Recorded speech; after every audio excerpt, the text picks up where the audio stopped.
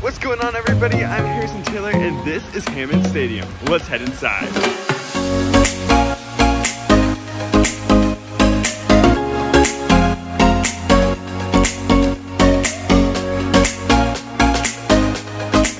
Hello and welcome to another episode of Concession Critics Slice of Spring from Hammond Stadium, the spring training home of the Minnesota Twins.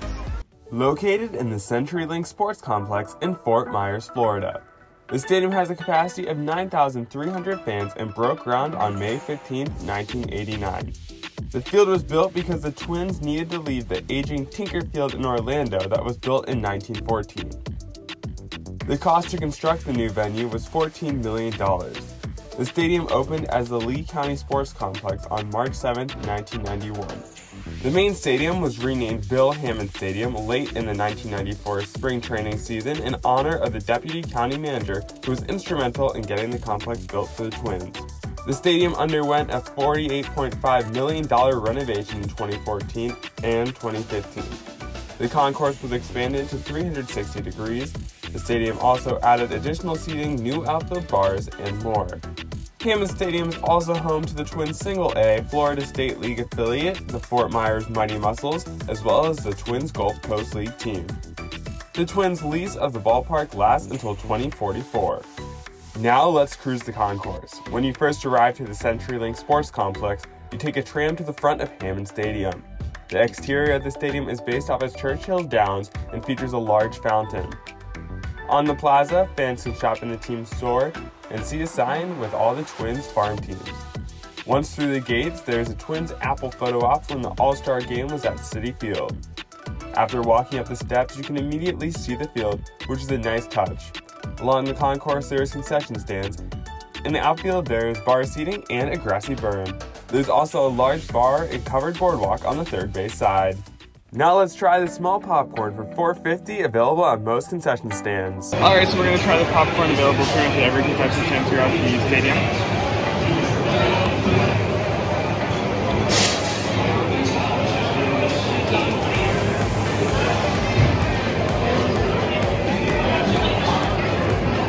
So I'm getting the same vibes I got from the popcorn from the Rays. It's a little overdone. However, it is fresh though. It's not like a few days old like it was at the uh, Rays. So that's good. Um, it's salty and buttery and warm, which is a plus. Um, so top of the pop wise, I would say it is number three underneath the popcorn from uh, JetBlue Park and uh, above the popcorn from Charlotte Sports Park.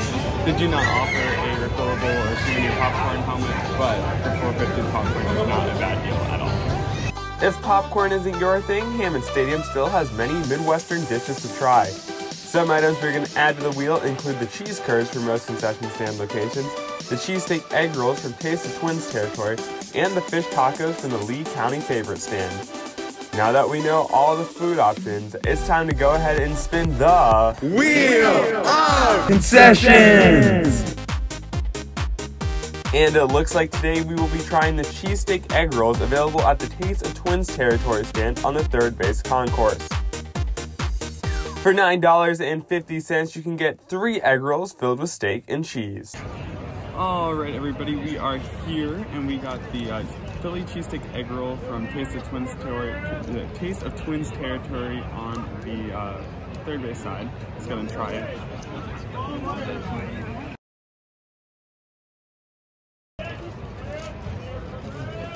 It's nice and hot and fresh. They freshly fried it at the concession stand.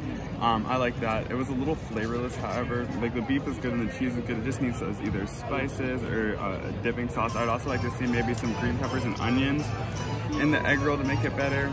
So I would probably give this two and a half pop points. Um, Overall at Hammond Stadium, I would rate the food quality 3 popcorns as the egg rolls were pretty bad, but the cheese curds were good.